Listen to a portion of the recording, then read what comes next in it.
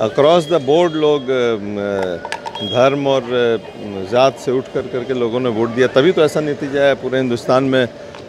जैसा कोई नहीं सोच रहा था कि इतना बड़ा एक सुनामी की तरह आएगा।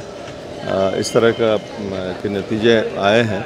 तो ज़ाहिर सी बात है कि सबों ने वोट दिया तभी ऐसा नतीजा लेकिन जो ठेकेदार बन रहे थे अपने आप को जो अपने से कम्बिनेशन बता रहे थे कि हम ये यादव मुस्लिम ये तमाम लगता है कि ये पूरा धाराशाही हो गया।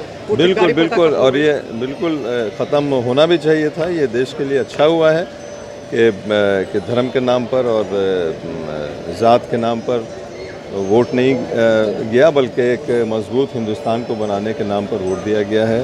विकास के नाम पर वोट दिया गया है जो शोषित और दलित और पिछड़े वर्ग के लोग हैं किसान हैं उनके लिए उनके हित में ये सरकार बनाई गई है और हमें पूरा पूरा विश्वास है कि उनके हित में ये सरकार काम करेगी।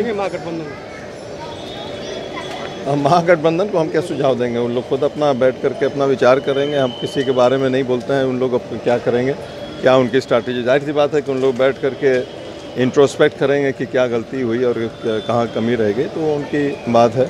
हम लोग हम लोग ये चाहते हैं कि किसानों के हित में गरीबों के हित में अल्पसंख्यकों के हित में पिछड़े वर्ग के हित में ये सरकार काम करती आई है। पिछले बार भी की थी और उसको और आगे उसको ले जाए तीन तलाक का जी महागठबंधन के लोगों को आत्मचिंतन ज़ाहिर सी बात है कि जो भी ऐसे भी सबको बैठ कर करके हमेशा आत्ममंथन करते रहना चाहिए। ऐसा बात नहीं है कि हम लोग को बहुत इंडिया को बहुत मेजॉरिटी हम लोग सोच फ़िक्र नहीं करें। हम लोग को भी फ़िक्र करना चाहिए कि और भी किस तरह से इंक्लूसिव पॉलिटिक्स हम लोग करें। इसमें विचार करने की हम लोग को भी ज़रूरत है।